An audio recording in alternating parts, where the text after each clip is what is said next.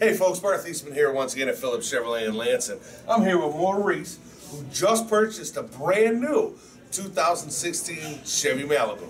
Maurice, let me ask you, how was your experience? It was great. It was fantastic, and um, I really loved the experience here at Phillips Chevrolet. Loves it. You send everybody to us, right? Yes, sir. Friends, family, neighbors, All of co-workers. Yes, sir. Right. Coming out, we'll have a blast, and we'll get you in a brand new car. Here is your brand new key. Thank you, sir. All right. Come down and see me, Barth Eastman, 17730 South Torrence Avenue. I'll get you in a new car as well.